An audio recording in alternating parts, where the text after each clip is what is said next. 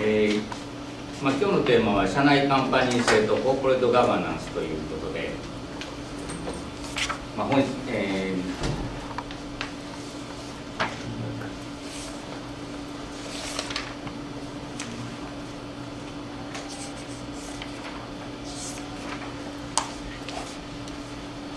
まあ、社内カンパニー制の組織形態それから、まあ、社内カンパニー制がですね、えー、普及した後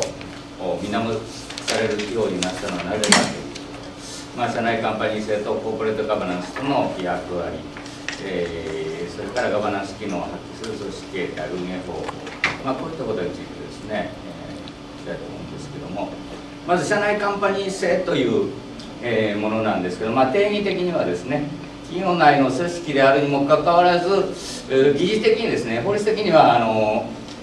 あの同じ会社なんですけどねその中で、えー、技術的に独立性の強い会社あというふうに見なして大幅な権限の異常と責任を明確化して、えー、収益力の効果強化や事業の効率化を図る組織ということでその特徴としては、まあ、一つは社内資本金というものがねあるというのが一つのですね。それから PL 責任だけじゃなくて BS の責任がある。場合によっては資金繰りの責任があるという。それから自己完結組織であるというですね。そこで、えー、全部の部門が揃ってると普通の会社のような、えー、形をとったあなんとか事業部とついててもですねそういう組織でそれは大幅な権限以上がされてるというでこれがまああ今事業部制特化ですね。それからえ社内分社というのは社内カンパニーなんですけども、えそれからまあ分社ということで、え外部にまた別会社を作るとあの分社して分けるということですね。それとまたこうこういうのが違うということですね、まあ、こういう点で違いがあるということで、えー、どちらかというと事業性と社外分社との、まあ、中間形態だというでまあ社内カンパニー制のプラス面というのは単なる事業部の独立採算制ですとねあのプロフィットセンターだけなんですけどもこれに、まあ、あインベストセンター、えー、そこの事業部に投資してどれだけのコストパフォーマンスがあるかというねいうことでインベストセンターでもあるというところが普通の事業部制の独立採算制と異なるということですね。まあそれがコア事業へシフトするために行われているということです、まあ、こういう面がですね、えー、それからまあ分社化とか持ち株会社化への試運転という意味で今まで使われてきた。ま、問題点としてはああまりこうそこで全部自己完結組織になりますんでですね、えー、相乗効果がなくなってしまうというね、えー、欠点があるわけです。それから原価の過剰削減ということで、まあ、例えば、えー、テレビ局なんかでも一時カンパニー制を採用してですね、えー、局ごとにこうなんとかカンパニーでつけたんですけどね。そうするともうあのコストということがね、えー、採算を上げなきゃいけませんのでね。そうするとどうしてもあまりお金を使わないと。あのそうするとあまりいいドラマが作れなかったりですねいいニュースができなかったりと、まあ、いうことで、えー、スポンサーがつかなくて視聴率が落ちて、えー、いうことなんですまあこれは社内カンパニー制の責任ではないんですけどもね、まあ、そういうことで、えー、OK です OK です、はい本社機能低下による部分最適ということでカンパニーがそれぞれ自分のところが一番儲かるようなあことをやっていくわけなんですけどそれが全社ということになるとですねかえってまあマイナスになるというね、えー、いうことがですね、まあ、後ほどあれしますあの電気大手があもうこの社内カンパニー制のためにですね際競争に負けたと言われ言われてもいるわけですよね、まあ、こういうところもあるわけです。それからまあ現場情報が断絶してしまうおカンパニーの長ですね、まあ、プレゼントと言われてますけどもそこのところで、えー、すぐにあの意思決定を行われますんでですね。その、えー、取締役まではあ情報が上がらないということでまあ、あ本社機能といいますかね全社的な戦略決定があ逆にできにくいとまあ、いう問題点があるわけですね。まあ、いうことで、えー、現場の意思決定は早いんですけどもね、えー、前者的なあ意思決定があ遅れてしまうと、まあ、いう問題点が、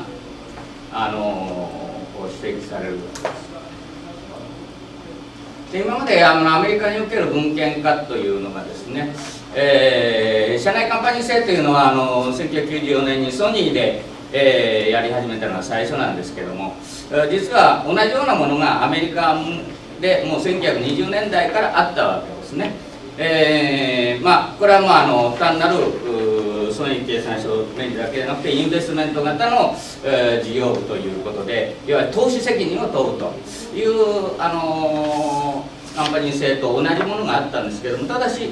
えー、日本の社内あのカンパニー制違うのは社内資本金制度というのはアメリカにはなかったわけです。えー、その後まああ70年代今度強い本社ということでね今度バラバラ、えー、に、えー、やってるのを今度集権化するという方向になりまし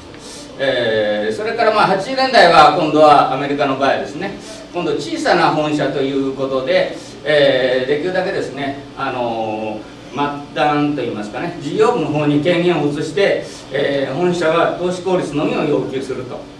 いうことになったんですけども、えー、まあ、90年代はまた今度それの揺り戻しでですね、まあ、本社によってもうちょっとこう前者的なものそれから中長期的なものはあ本社が主導権を握らなきゃいけないということでアメリカの場合も集権化と文献化がこう交互にですね、えー、あの変遷しているわけです。その中でアメリカ型のカンパニー制であるえー、事業部制ですね。これ、まあ、デュポンというね、えー、有名な会社があるわけですけども、えー、これがまあ1921年、え、頃からあ日本でいうカンパニー制と同じような組織を作ってるわけです、まあ、製品ごとに事業部を作りましてですね、えーまあ、それを管轄するのはですね全部現場の事業部に、えー、意思決定はあ任せまして全社的には7人の取締役で、えー、構成する経営委員会というのがあ事業部長を監督機関である事業部長の監督をすると、えーまあ、いう形でそれから、えー、大株主のための憲政機関、まあ、いわばあ日本でいうと監査役のような機関は、えー、財務委員会というものをがあったわけですね、まあ、こういうことで、えー、経営委員会財務委員会ということで、まあ、ガバナンスを確保してたということでこれが1921年の、あのーえー、デュポンの組織であるわけですね。だからその次に GM なんですけども GM の場合はですね、えー、あのデュポンとは逆に、え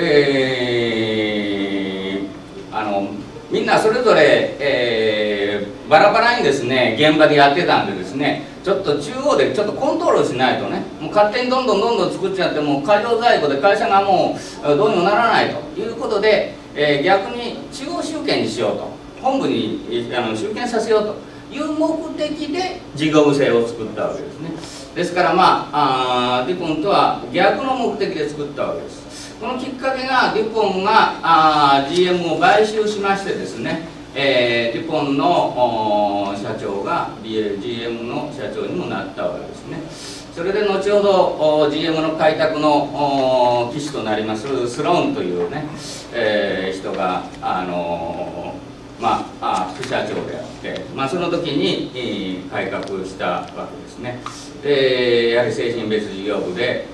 まあ、14の事業部門でと経営執行委員会とが監督機関それから財務委員会があ憲政機関と、まあ、いう形になっていたわけです。これがまあ GM の組織というですね。これ1921年当時のこういう形で、えー、絞れ事業部とかキャララ事業部とかですねまあいう形であの運用されてたまあ、もう一つアメリカではあ GE というところですね。これがあ1946年頃からあの、え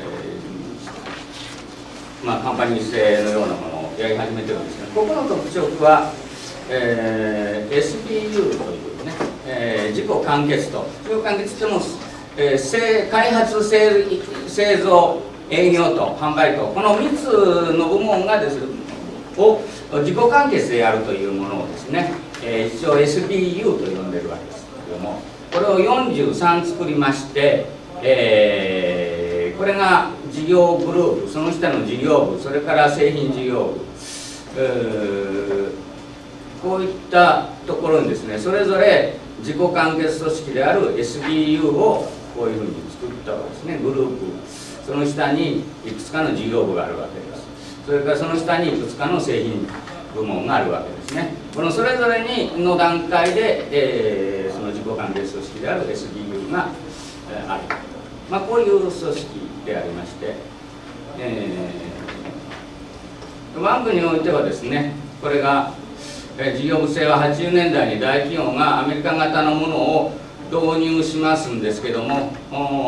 まあ例えば、え、ヤマハとかサントリーとかがですねえ、マッキンゼの指導のもとにですね、えー、G 型のあの事業性を導入するんですけどもことごとく失敗してます、えー、これはなぜかというと関節部門が非常に多くなっていると各、えー、部門に経理とか人事とか全部起きますんでね、えー、いうことでそれとまあ相乗効果がなくなるということでね、えー、まああのしばらくしてそれはもう白紙に戻されてます、えー、まあいうことでまあ失敗ということになるんですけども、えー、1994年のソニーの導入からですね本格的に、えー、導入が多くなりましてですね、えーまあ、私があの社内カンパニー制導入マニュアルという5万円ぐらいの本を出したのがですね2000年ちょうど